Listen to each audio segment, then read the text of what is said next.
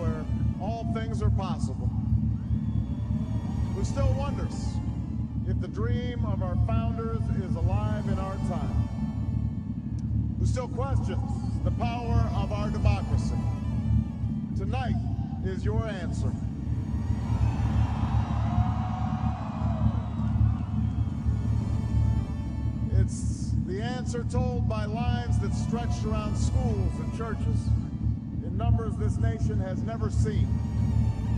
By people who waited three hours and four hours, many for the first time in their lives, because they believed that this time must be different, that their voices could be that difference. It's the answer spoken by young and old, rich and poor, Democrat and Republican, black, white, Hispanic, Asian, Native American, gay, straight, disabled and not disabled. Americans who send a message to the world that we have never been just a collection of individuals or a collection of red states and blue states. We are and always will be the United States of America.